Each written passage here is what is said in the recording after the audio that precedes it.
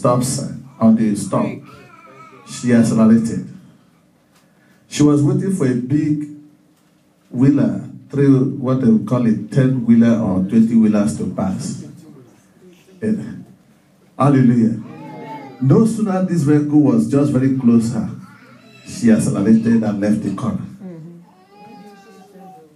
But because of our prayers and our prayers, pray, say our prayers, Our prayers, our seeking the face of God, our seeking the face of our covenant with the Lord, our covenant with the Lord. He swerved all the drivers away from her to enable her to do all the Coco Man dance. Hallelujah. Praise the Lord. You understand what I say? She was doing all the whole Coco Man dance with the with her vehicle. All the vehicles that were supposed to pass through in, in the intersection were running running away. Then they park and we are watching her say what would have been happening to this lady. Hallelujah. Amen. It was not by her own strength that those vehicles went away. Your God is alive. Amen. Amen. Our God is good. Yes, our God is good. Yes, our Lord is good. Is good to us. Our Lord is good. Our God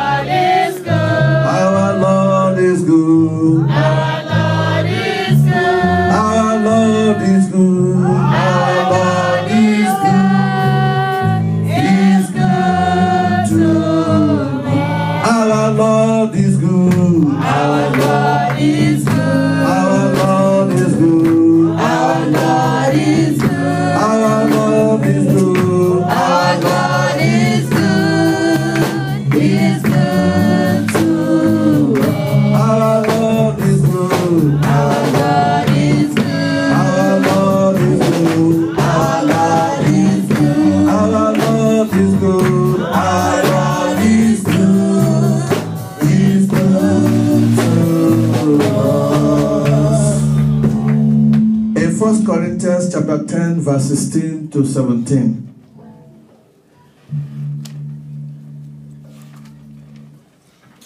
So permit me as I flow as the Holy Spirit have led me to discard and hold on everything I have written for this message I prepared already.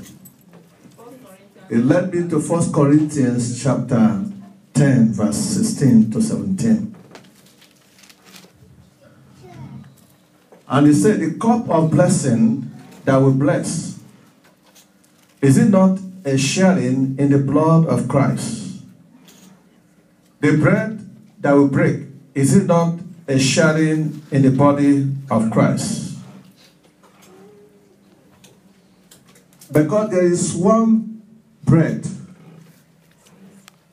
we who are many are in one body.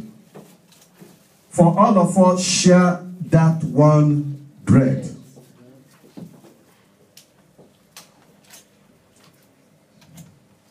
Communion is a cup of unity in faith. Communion is a cup of what? Unity in faith. The Bible several, severally told us that the Father, the Son, and the Spirit, they are what? One. And in the course of the early church, when they came together and they were of one mind, the power of God moves. Brethren, I want to tell us that communion is a, a, a service that affirms our unity in faith and our togetherness. It says that for we are many, but we share one bread. We are many, but we share one bread. We don't share each person to his own bread, which you know is common. You go to a, a restaurant, each person go and collect one plate. You are your own. Hallelujah. But in this one is one bread. Many of us taking from that bread, sharing from that bread. You are not looking on the other person whether he washed his teeth or he brushed his mouth, whether he had a leper hand or a crippled leg. Hallelujah. Whether the teeth is a fork teeth or whatever. You are not looking at that. You're not looking on how the other person, all you are looking at is the bread that we are sharing. That bread become the center, the focus, the meeting point. That bread becomes the center where the whole energy is energized, is located. That bread is the bread of life. Communion is a cup of unity in faith.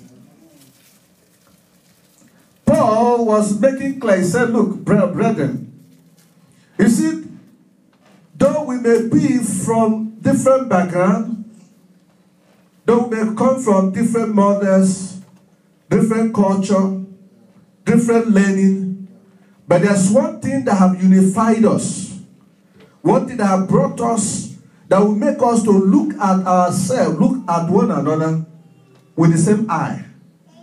That is the communion of faith. Hallelujah.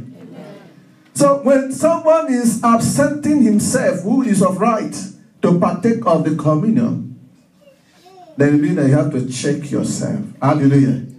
You have to go to mechanic shop and clean up yourself. Hallelujah.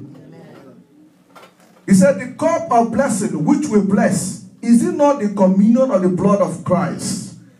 The bread which we break, is it not the communion of the body of Christ? For we, being many, are one bread and one body. For we all partake of that one bread that will unite us. Hallelujah. I remember when we were growing up, we used to see, uh, you know, elders, they go to meeting back from where we're coming from, back home. When they go to meeting, there's one delicacy that is prepared in one, one, one plate, and there's only one spoon. Hallelujah. And they will pass that plate with one spoon. One person will volunteer to carry it because I don't know, maybe it's a, it's a, it's a monitor. Monitoring so that you don't take more than one spoon. You carry it, you take one. The same spoon, you carry it from one, one person to another, one person to another. And at that time, I don't think they were using toothpaste. Praise the Lord.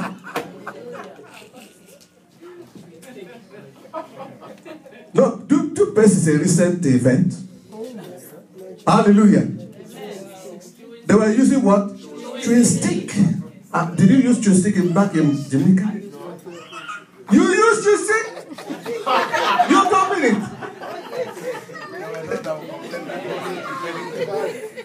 They did.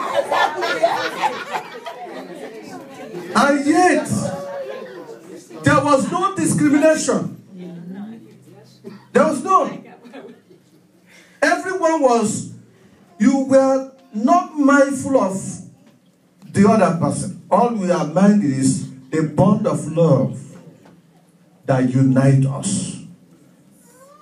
Brother, there's nothing that unites us as the people of God than the blood of Jesus Christ and the body of Christ. The cup of unity. Unity in faith. So when you come, Paul was telling them, look, brethren, irrespective of your, your coloration, what you are, your personality, your polity, your, your social standard or, or rating, the what has brought us together is it not a cup of unity? The communion of Christ.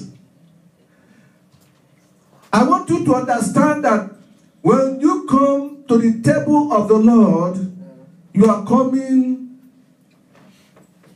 to galvanize what you are or to come as kind of alloy what you are to an, another so that it become one metal. No, when we chemistry, we have when different elements come, they become one. When they come together, they lose their individual uh, characteristics and now bear one, become an alloy.